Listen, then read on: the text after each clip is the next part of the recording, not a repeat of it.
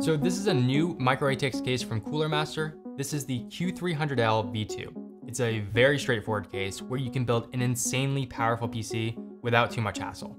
Now, I wouldn't consider this a small PC, but it's definitely much smaller than a typical tower with little to no compromises on component compatibility. So that's what we're gonna build today. Later on, we'll talk about this video sponsor Squarespace, but for now, Let's get started. All right, so let's take a look at the parts. And the CPU I'll be using is the Intel i5 13600K. This CPU has 14 cores, six of which are performance cores, and can boost up to 5.1 gigahertz. This has been around for a bit now and has some flexibility with the ability to use DDR4 or DDR5 RAM. So you could save some money there if you paired it with a DDR4 motherboard. This being a high-end rig, you could also take a look at the 7800X3D, which is largely considered the best gaming CPU that you can buy at the moment.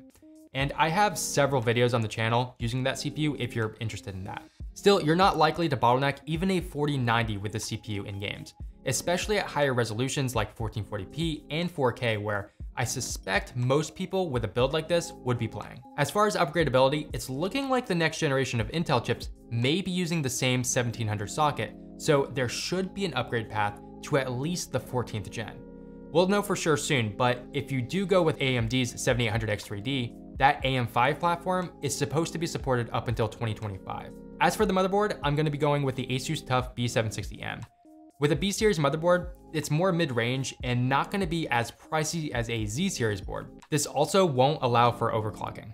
Now, how important that is will be completely up to you.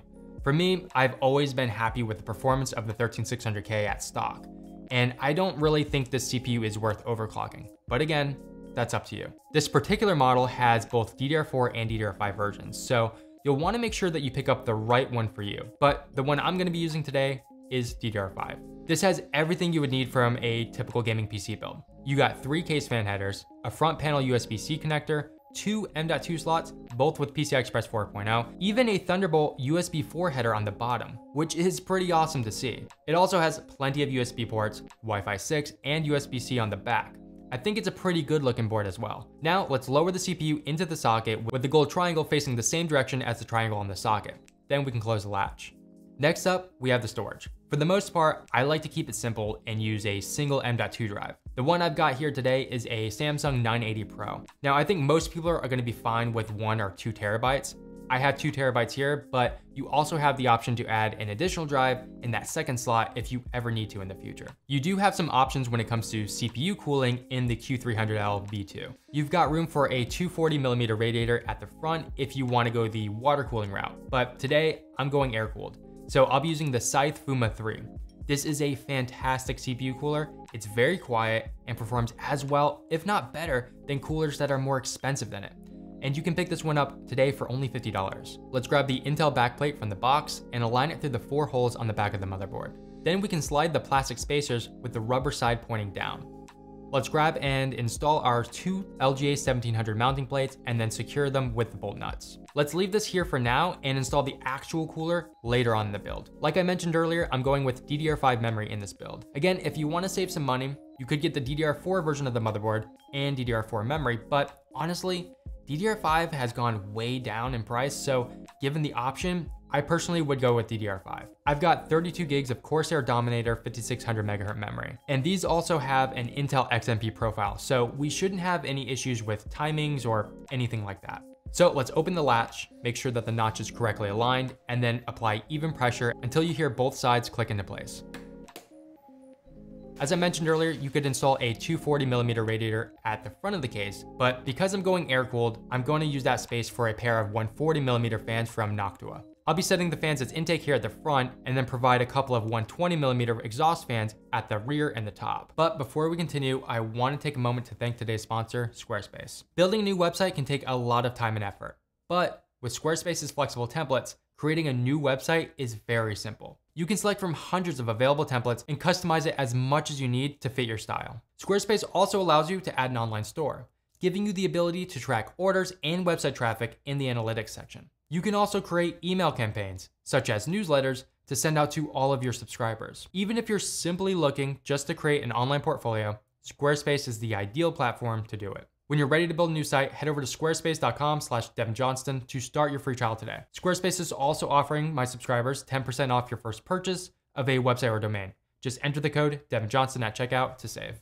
Okay, now that we've got the rear and front fans installed, we can lower the motherboard into the case, aligning it with the standoffs, then secure it. Now, the first thing I would recommend doing here is feeding your CPU power cable from your power supply and the fan splitter from the CPU cooler through the back of the case and make those connections. The top of the case is not removable, so it's actually pretty difficult to make those connections even without the cooler installed and it's nearly impossible if it was. With all those top connections plugged in, I'm gonna install the last top exhaust fan. Next, we can start plugging in our power cables and case cables. I should mention that I'm gonna be using the Corsair RM1000X power supply in this build.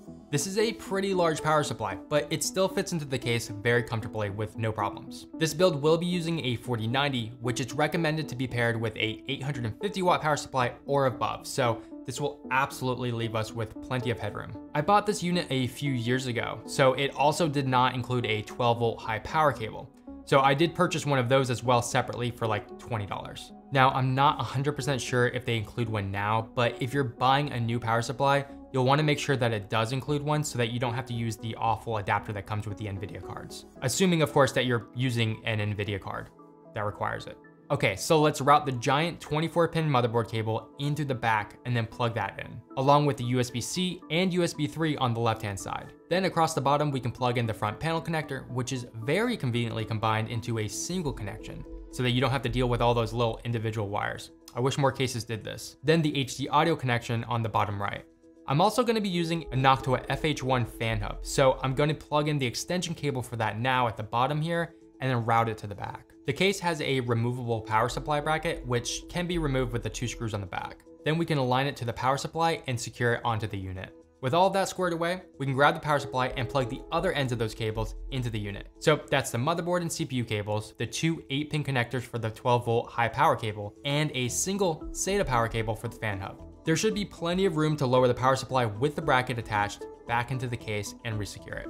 So there's tons of space in the back for cable management, along with some tie-off points. So I'm going to plug the fan cables into the hub and then tie down some of these loose cables. It doesn't have to be perfect because it's not like you're gonna have to see it much anyway. All right, I think we're ready to install the cooler now. And so let's apply some thermal paste to our CPU. For these Intel chips, I like to put a line right down the center. Then Scythe actually includes a thermal paste spreader in the box. So let's try to spread this over the CPU as evenly as possible. Now we can lower the cooler into the case and align it with the two standoffs on the mounting brackets. Then when you tighten these screws, you'll want to switch off every few rotations to get an even pressure across the CPU. Now we can install the two fans to the cooler by clipping the first one in the center by pulling the fan clip into the groove of the fins.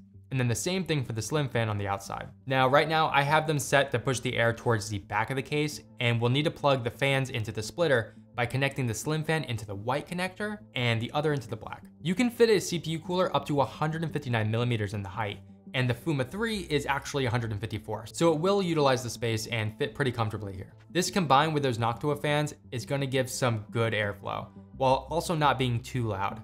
I'm measuring around 45 to 50 decibels for the full system at stock after playing Starfield for over an hour. Of course, from there, you could also set up some custom fan curves to fit whatever your needs are. All right, last thing to install now is the GPU, and I'll be using the RTX 4090 Founders Edition. This is one of the smaller 4090 cards that you can get, but they are quite hard to come by. This case can fit though a GPU up to 360 millimeters in length, and so that is plenty of room for much bigger third-party cards. You could also go the AMD route if you wanted to with a like 7900 XT or XTX. Those are some good high-end options as well and would have no problems fitting into the case. I actually have a build coming out in the next week or so with the 7900 XT, so if you're interested in seeing how that card performs, be sure to check it out. But this 4090 GPU is in a league of its own and absolutely dominates all other GPUs in performance. But it is quite expensive and it's probably way overkill for most people. I'm getting 70 to 80 frames per second in 4K playing Starfield at the highest settings without using FSR, and 80 to 90 frames with it on at a render resolution of 75%. Now that's the more demanding areas. In like corridor spaces, I'm getting over 130 frames per second. This game also looks absolutely insane on an OLED ultra-wide 3440 by 1440 monitor at over 100 frames per second here using the highest settings with FSR. Same thing with Ratchet & Clank at 140 frames per second in 4K with everything completely maxed out including ray tracing and DLSS 3 using frame generation. Turning off all that AI upscaling and we're still looking at over 70 frames per second. But again, I think most people would want to utilize DLSS 3 in this game. The high frame rate at well over 170 frames per second and the OLED colors on the ultra wide also looks really incredible as well. So let's lower the card into the case, slide it into the PCI Express slot, and then secure it. Finally, let's plug in the 12 volt high power cable and you'll wanna make sure that it's completely pushed in. Last thing to do here is reinstall the side panels and that's the build complete.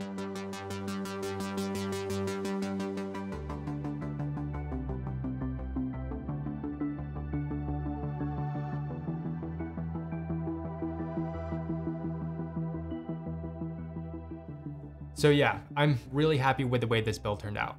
And I'm liking this Q300L V2 a lot actually. It's very straightforward to build in, has good airflow, and it's a pretty good deal at only $60. I should mention that it also has some rubber feet on the back so that you can lay it down on its side if that fits better in your space, which is pretty nice. I guess if there's one nitpick, I would like to see this and more cases have a removable top. That would make it so much easier to make those top connections. But again, for $60, it's hard to complain. So that's all from me today. Let me know what you think in the comments below. Thanks for watching, and I will see you in the next one.